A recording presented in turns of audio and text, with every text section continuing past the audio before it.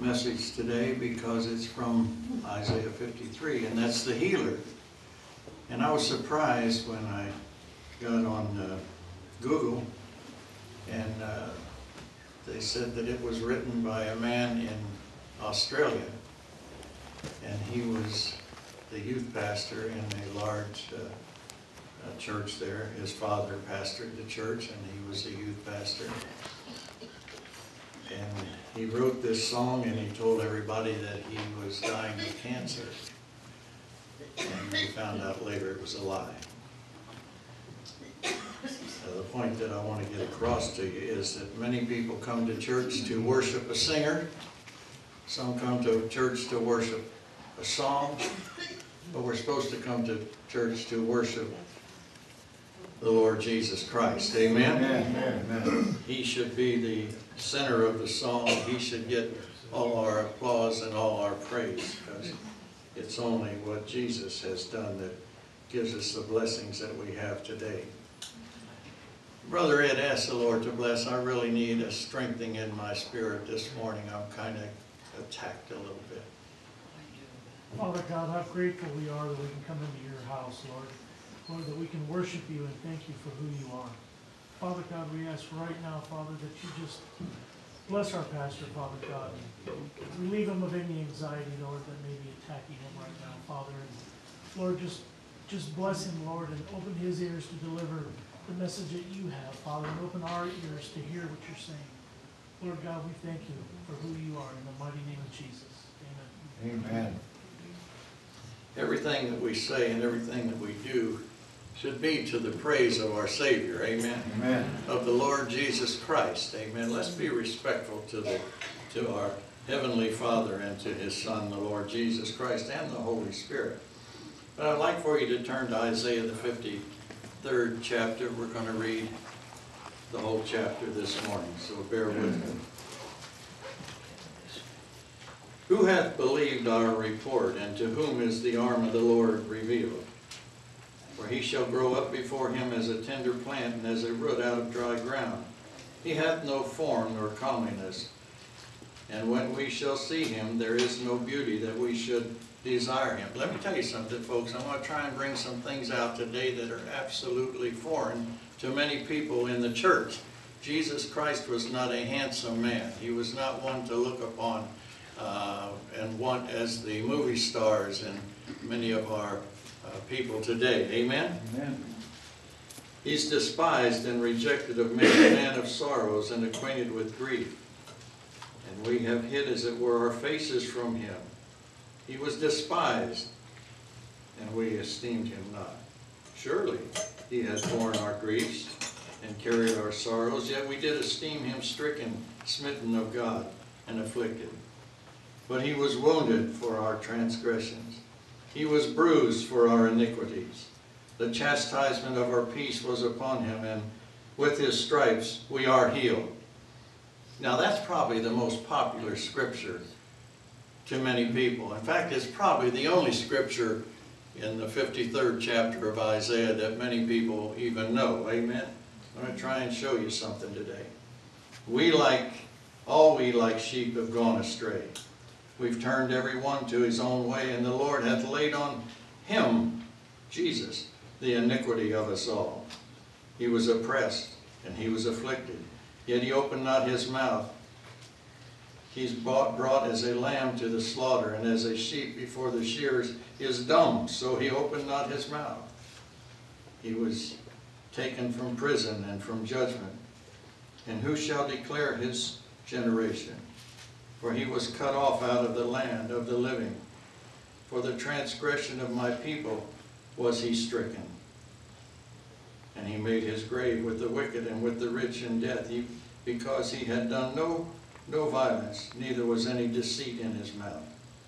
Yet it pleased the Lord his Father, it, it pleased the Lord to bruise him. He hath put him to grief. When thou shalt, listen, listen, when thou shalt make his soul an offering for sin, he shall see his seed and shall be, he shall prolong his days. And the pleasure of the Lord shall prosper in his hand. He shall see of the travail of his soul, and shall be satisfied. By his knowledge shall my righteous servant justify many, for he shall bear their iniquities. Therefore will I divide him a portion with the great, and he shall divide the spoil with the strong, because he had poured out his soul unto death, and he was numbered with the transgressors, and he bare the sins of many, and made intercession for the transgressors. I want you to pay attention today, please, please, please, folks. We're, we're getting away from the candy and the sugar-coated stuff that so many, that's all they hear in church. Second Corinthians five twenty-one, let me read that to you. I can quote it, but I want to read it to you. 2 Corinthians five twenty-one, you should know it by heart. For he hath made him, God the Father hath made him, God the Son, to be sin. God the Father made Jesus Christ to be sin. Y'all got that? For us who knew no sin, Jesus knew no sin. That we, you and I today, might be made the righteousness of God in him. The right, we are the righteousness of God. Understand that, folks. And it might make a big difference in your idea of what church is about. Church is not an entertainment center. It's not a place to where we bring you together to make you laugh and tell funny stories. It's a place that we hope you assemble to praise and to worship God and to receive what He has for you. It's a time of seriousness. It's a time to really understand who we are and who He is Amen. and who He is in our lives. Amen. Amen. Easter's past, folks. I don't know whether you knew that or not. The tears, the programs, the egg hunts, the circus celebration, the parties, and the large dinners are over. That to many is what Easter is about. Isn't that a shame? Isn't that a stinking, rotten, crying shame? Amen. You know why? Because the church, the modern day church is ignorant of what Easter or Resurrection Sunday is all about. Stay with me. I want you to really, I want you to learn something today. I don't care whether you like me or not, and I'm not here to make you happy or make you laugh. I'm here to tell you, thus saith the Lord. Now, let's, let's look at what resurre- Resurrection Day truly is all about. The resurrection from the grave, absolutely. The resurrection from the grave by our Savior, the Lord Jesus Christ. But what happened? Did you ever stop to think, folks? Have you ever stopped to even take time to read about Jesus Christ? Oh, I've read John 3.16. I've read the book of John. You need to get out of the book of John and get up into the Gospels, I mean into the, the epistles. What happened between the death of Jesus Christ and the resurrection? All we hear about anymore is the cross, the cross, the cross, the cross. The cross was just two pieces of wood nailed together. Y'all got that? You got that? Y'all understand that? It's the one that was on the cross that's so important. Right. And let me tell you something. It wasn't just the one on the cross shedding his blood and dying on that cross. There's so much more to what Resurrection Sunday is all about. You with me, David? Listen to me today. Stay. Don't get up and leave because I want you to hear this. That's important. Really, that is important about the death of Jesus Christ and the resurrection. That's so important to our salvation, but there, there's so much more, folks. So much more. And the more that I come to the realization of what happened, it really and truly breaks my heart and causes me to judge myself and begin to check me rather than you. Amen?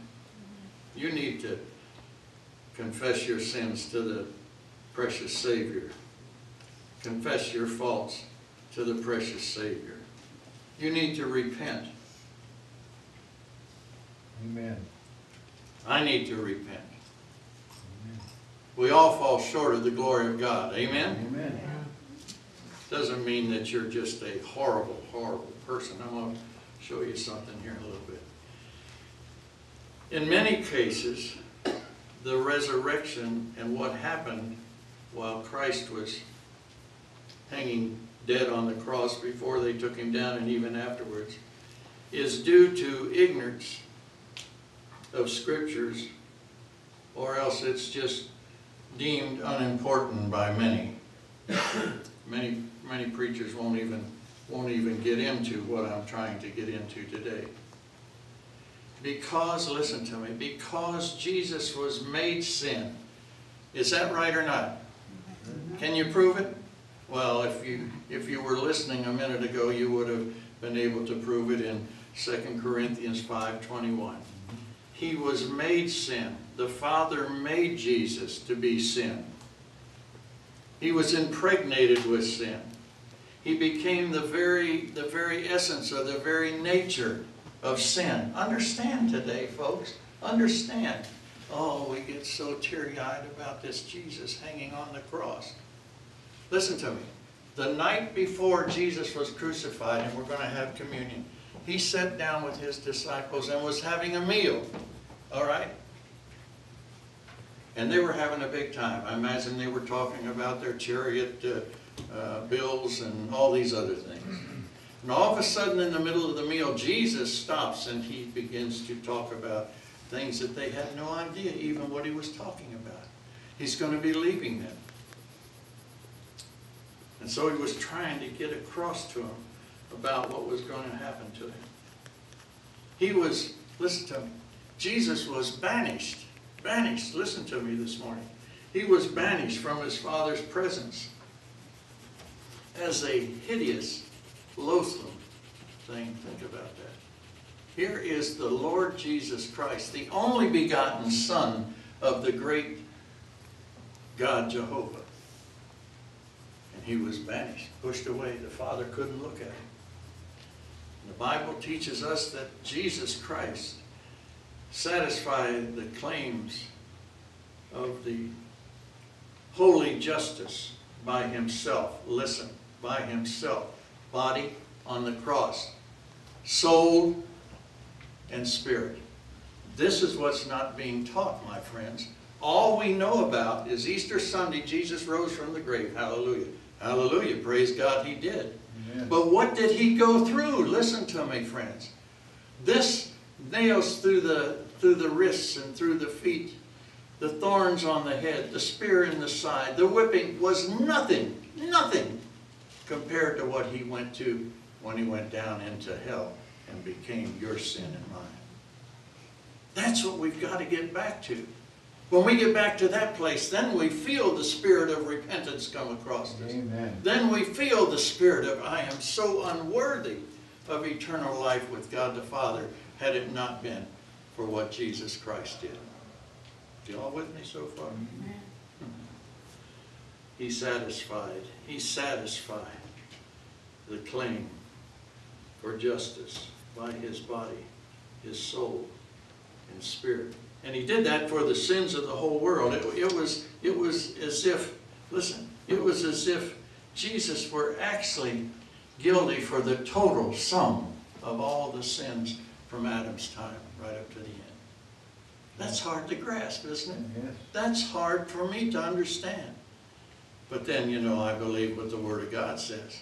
I walk by faith and not by sight. Amen. I don't walk by my understanding because it's not possible for me to understand the mind of God and why He would put the sins, your sins, your sins, your sins, your sins, and my sins on His sinless Son. I can't understand that. Amen. His soul, listen to me, listen to me.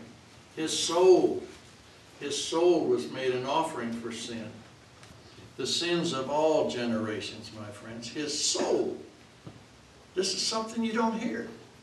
You don't hear anything about the soul or the spirit of, of Jesus, do we?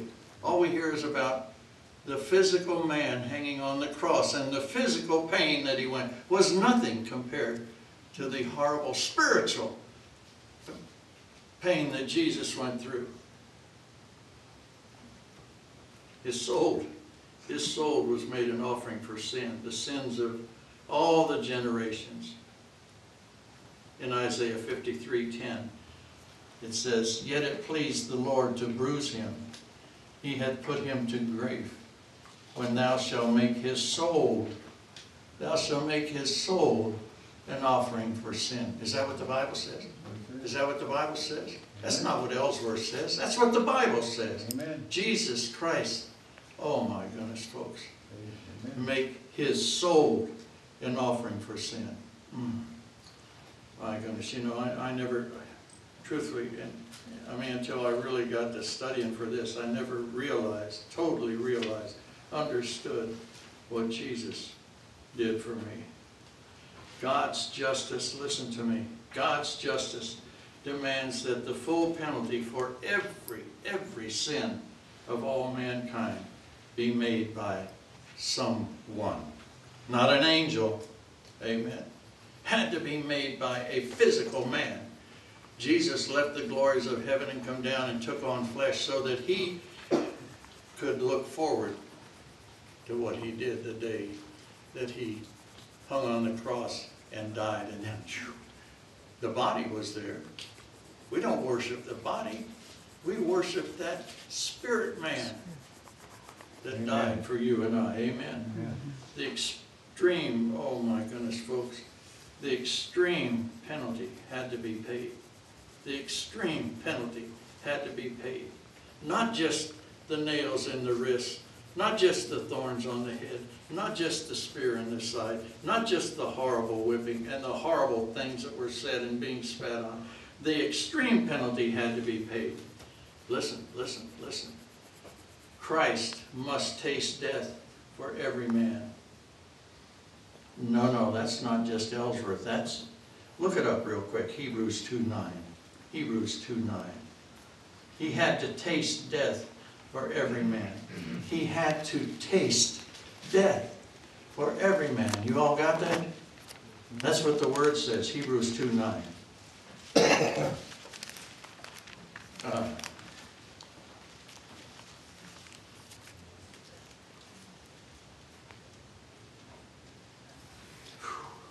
Christ had to suffer all the torment. Listen to me. Listen to me.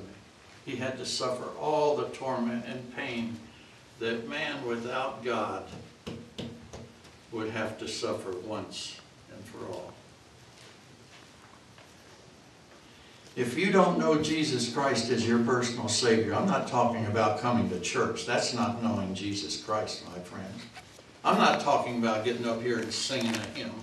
That's not that's not what I'm talking about. I'm talking about knowing Jesus Christ to the extent that He becomes part of you. He lives within you. You have accepted Him as your Savior. Stuart Hamblen, that wrote so many beautiful songs, at one time was a drunk and a brawler and in and out of prison. How many of you knew that? Uh, Stuart Hamblen. And one day he met Jesus at a Billy Graham crusade. the song, It Is No Secret. Do you know who gave him the title for that? John Wayne. John Wayne come to visit him to see what had happened in his life that caused him to change. And John Wayne says, It is no secret. And Hamblen wrote a song. It is no secret what God can do. Listen, listen today. And try and understand, please. I think if you fully understand, well, we'll never fully understand, but if, if we can understand just a little bit, folks, just a little bit, I think our lives will change. We'll begin to lay self, that, this is the biggest problem with most people in the church. Self is taking over. Lay self aside. Amen. Lay self aside. Quit looking for the applause and the glory from man. Lay self aside and lift up Jesus. Amen. Amen. Hmm. Jesus, Jesus, holy, loving Father, turned him over. Not, not, not only, listen to me, not only to the agony and the death of Calvary, but God the Father turned God the Son over to the satanic tortures, to his pure spirit. Listen what I'm saying, folks. For the sin of the hu- for the sin of the human race. God the Father turned Jesus' spirit over. The spirit man has to pay. Listen to what I'm saying. Listen to me today. What Jesus Christ did on the cross paid for your healing. But to pay for your sin, that spirit man had to endure the tortures and the torment of Satan. You didn't know that. He was Satan. He was in Satan's hands. He was at Satan's mercy for you and I.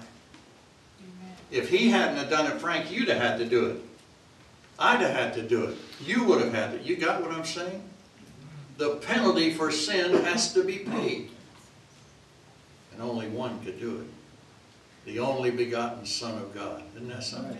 I'm thankful for Jesus today, aren't you? Amen. I'm thankful for Jesus. Oh, I'm, I'm thankful for the health that I endure and I, or, or I'm blessed with. I'm thankful for the home that I have to live in. I'm thankful for the car that I have to drive. I'm thankful for the food that He gives me and the finances that He gives me, but I'm thankful for Jesus. Amen. Amen. I'm thankful for Jesus. Aren't you? Amen. I'm thankful for Jesus. Say amen. Amen. The agonies, the pain, the suffering which Christ endured in, oh, listen to me, in that horrible place called hell. Now, there are those that will argue with me till the moon turns to cheese that Jesus did not go to hell, but Jesus Christ went to hell. How many of you believe that? Amen. If you don't believe it, then you need to read your word and put your comic books and all the rest of the junk that you're walking, working and reading and studying and listening to on television and read your word. If you don't believe that Jesus went to hell, sometime take time to read Psalms 88. You and I, listen to me, you and I cannot comprehend the depth of agony of the anguish, folks, that our Savior endured, that we might not be called wicked. You are not a wicked person. Understand that. If you're saved, you're not wicked. Now, you fall short of the glory of God, but I don't care what you, you come up with, you're not wicked. A wicked person is one that is not saved, that hasn't been washed in the blood. If you're washed in the blood, your sins have been washed away. Amen. Because Jesus became that wicked person that you and I might become the righteousness of God in him. Is that right or not? Amen. All right. But you and I today are not called wicked. We are called a child of God. Is that right? Amen. We are called an heir of God and a joint heir with the Lord Jesus Yeah, Christ. Is that what the Word says, Ed? That's what the Word says. The Word says, I'm a heir of God and a joint heir with His Son, the Lord Jesus Christ, His only begotten Son. Amen. Isaiah 53, 12. Oh my. He poured out His soul unto death. He poured out his soul unto death. Now, those that don't think Jesus Christ died, you better get a marker lot and mark that out of your body. Jesus Christ died, didn't he? Didn't he? Jesus Christ literally, physically died. Right. He, the Lord Jesus Christ, suffered, oh my goodness, suffered in our stead until in the mind, listen to me, till in the mind of his heavenly Father, the claims of eternal justice were met. Folks, people have been playing church so long that they don't really understand what it means to be a Christian. They don't understand. They think it's just, well, let's get our Sunday go to, no, Sunday go to meeting clothes. They don't have that anymore, do they? And go to church and feel good, you know, and the pastor is going to tell us some sweet thing or some funny thing, but that's not what it's about. Isaiah 53, 11. He shall see of the travail of his soul. God the Father shall see the travail of Jesus Christ's soul. Listen, that's what it says. I'm reading it right out there. Of his soul and shall be satisfied. God the Father had to be satisfied. That's right, amen. shall be satisfied. By his knowledge shall my righteous servant justify many, for he shall bear their iniquities. Listen to what God the Father says again. By his knowledge shall my righteous servant, who was God's righteous servant? Jesus. Jesus. By, by my righteous servant justify many. You and I are justified today because of the righteous servant of God, his only begotten Son. Surely that's what the Word says. That's what the Word says. Amen. amen. For he shall bear the iniquities. He shall bear their iniquities. Oh, my goodness. We need to, we need to thank him. We need to praise him. Yes. We need to love him for his unselfishness and, I'm talking about Jesus now, and his dedication to the task that was before him. Do you know there are many in the church that have tasks before them, but they're not faithful to them? Jesus, I'm so thankful today. I'm thankful that Jesus was dedicated and surrendered to the task. And his task, listen, he knew, he knew what lay ahead of him was to die for me, was to become sin for me. Isn't that something? For me. Now you better, you better start claiming that on a personal basis. Amen. Oh, we say he died for the sins of the world. That's true.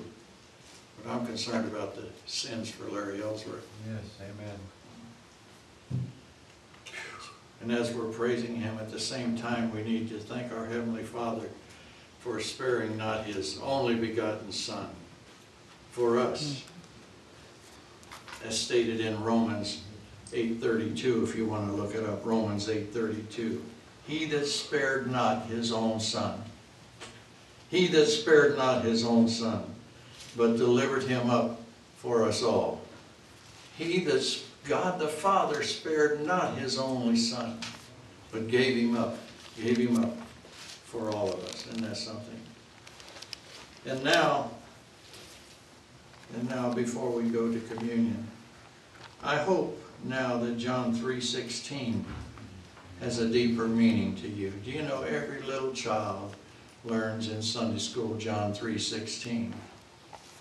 And too many people stand on that scripture, lest you become as a little child, you'll not enter the king. It's time that you become a mature Christian and stood up and quit being childish in your, the things that you say and the things that you do.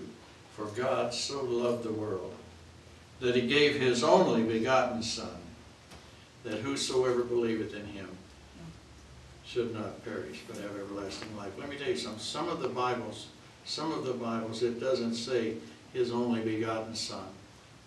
John 3.16. Some of them just say his Son. That, that's not proper. His only begotten Son. He's got many sons and daughters. If you're saved, you're a son, but you're not his only begotten Son.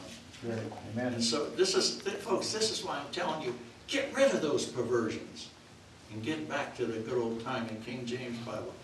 And I'm telling you, even the New King James, you've got to watch it. I don't know, maybe that's one of the places where it leaves that out.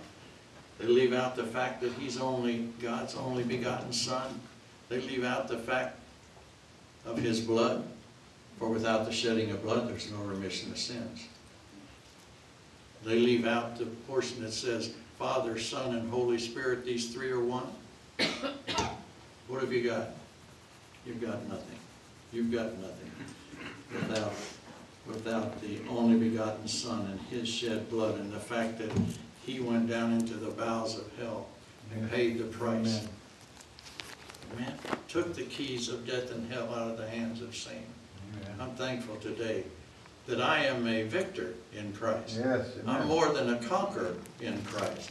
I can do all things through Christ which strengthens me. Yes, It's all, listen folks, we've gotta get back to Jesus and forget the Baptist, the Methodist, the Lutheran, the Episcopalian, the Catholic, the Jews, the full gospel. Let's get back to Jesus. We're Christians, amen. Amen. Ushers, come forward if you would, please. Let's take communion together today and remember, remember what Jesus did for you. When we partake of these emblems, try and, try and in your mind, if you can, picture what our precious Savior did for us. Go ahead and pass them out. Oh, I thank you, Lord, for saving my soul. Thank you, Lord, for making me whole. Thank you, Lord, for giving to me thy great salvation, so rich and free. You notice how that song says, for giving to me? He gave it to you, friends. He gave it to you. All you have to do is reach out and receive it. Say, come and be Lord of my life, Jesus.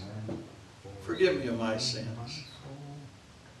I confess, listen, I can't confess every sin that I've ever done. It's impossible, friends.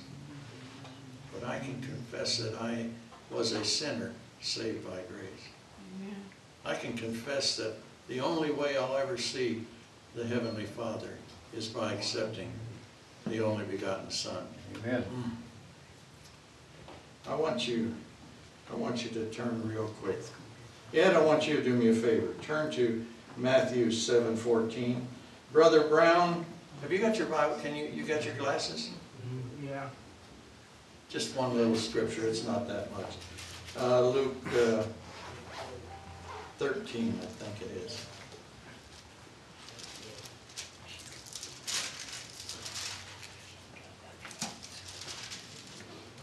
Luke 13,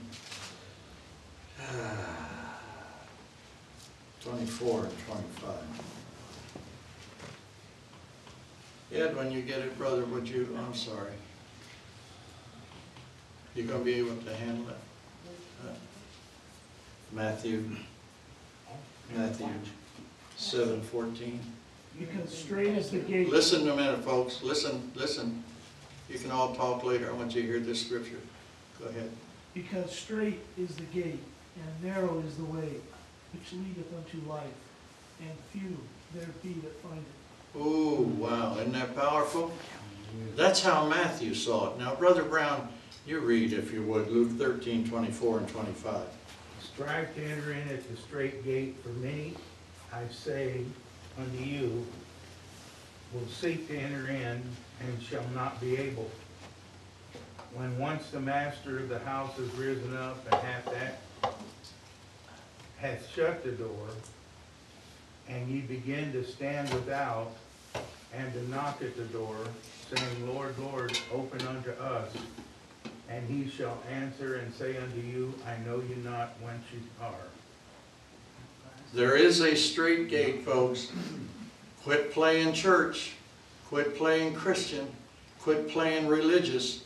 There is a straight way. And that way is only the path that Jesus Christ leads. Amen? Amen. Straight. And then he says, strive. Strive. And Paul said in Hebrews to lay aside the weight and the sin that so easily besets you. Strive to enter into that straight gate. That means that folks, some of the, some of the excuses, uh, some of the laziness, some of the self needs to be laid aside. I'm telling you, friends, I'm telling you, Brother Elkins sang that song, The Trumpets at the Angel's Lips.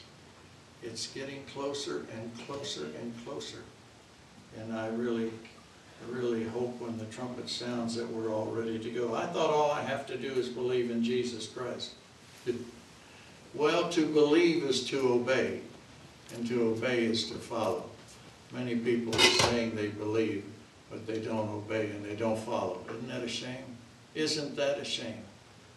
Isn't that a shame?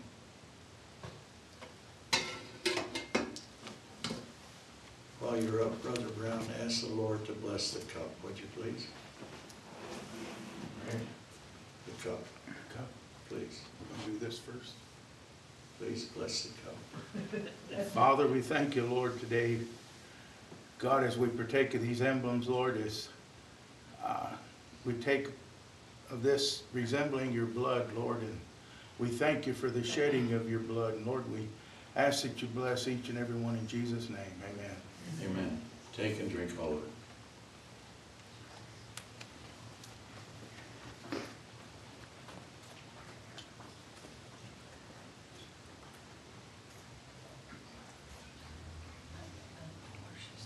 Thank you.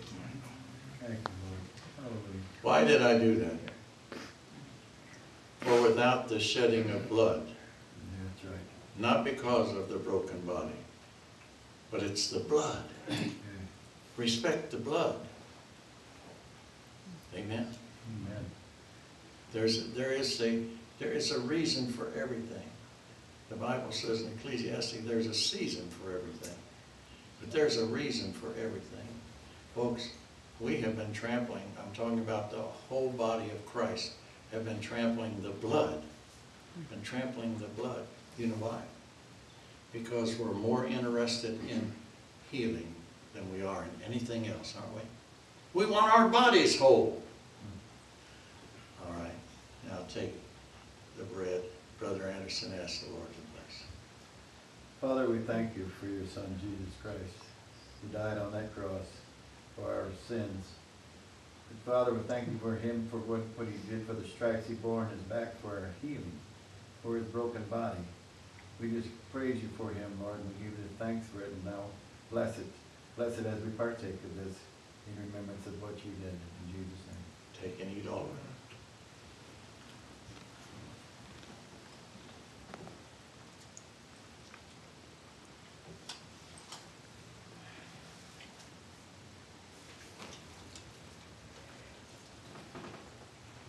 The body was ripped and torn and broken for your healing.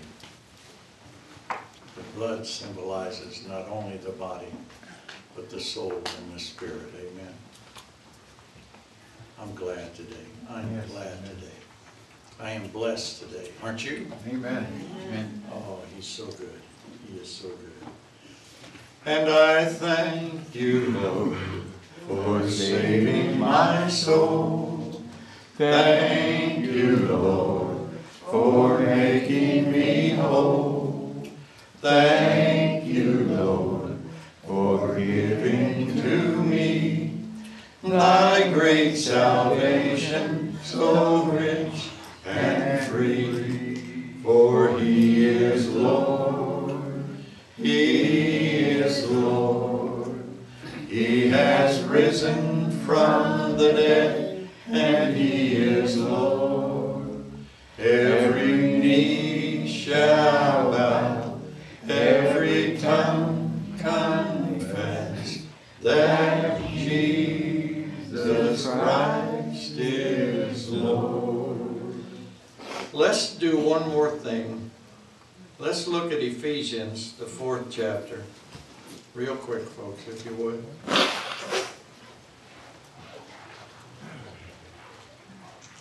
Uh, Ed, you still got your Bible open? I don't have my glasses. I had to borrow them. Uh, Brown, you still got your Beverly's Bible open? Okay, if you'll get Acts two seventeen, I'll read Ephesians four for you.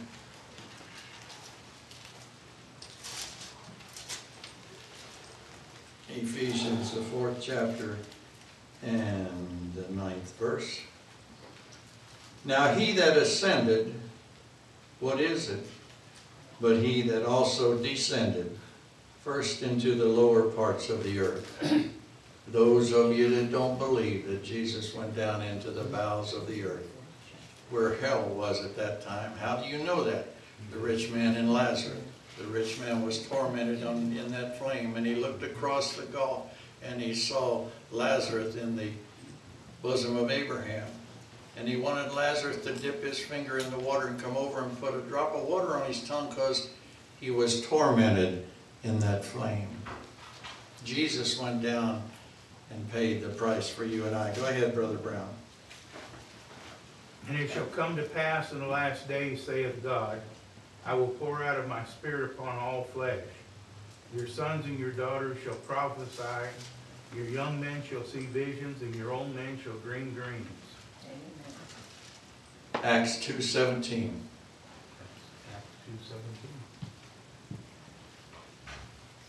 Well, then I had the wrong scripture written down. What I wanted to hear was, Because thou wilt not leave my son in hell, neither wilt thou suffer thy Holy One to see corruption. 27. Well, I was close. If you knew that, why didn't you read that, right? Close on account. Go ahead. Hand grenades. Because thou wilt not leave my son in hell, neither wilt thou suffer thine Holy One to see corruption. Oh, my goodness, isn't that amazing? Those of you that don't believe the Lord Jesus Christ went to hell for you, somebody had to. That was the penalty, one of the penalties for sin. Uh, Now that he ascended, what is it but that he also, now that he ascended, what is it also but he descended first into the lower parts of the earth? Because thou wilt not leave my son in hell, neither wilt thou suffer thine Holy One to see corruption. Scripture, if you preach something and you can't back it up keep your mouth shut, don't say anything. Amen. Amen. amen. I love him for he is mine. I love him for he is divine. I love him forever it seems. He's my Jesus, the Nazarene. Stand with me. Oh, let him breathe, hands and receive. Oh, let him breathe on me. Let the breath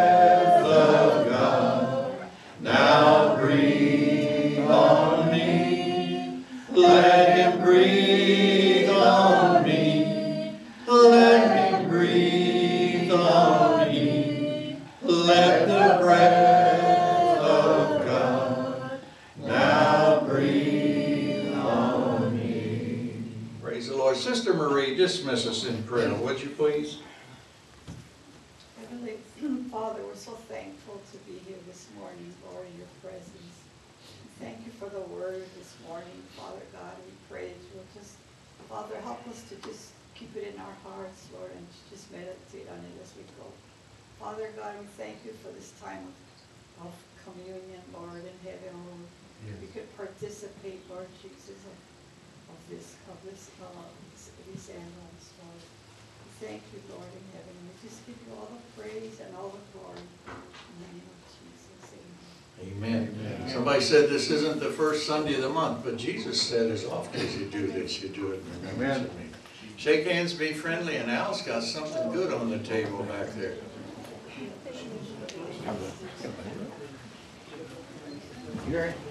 God bless you. Do it for you. Okay.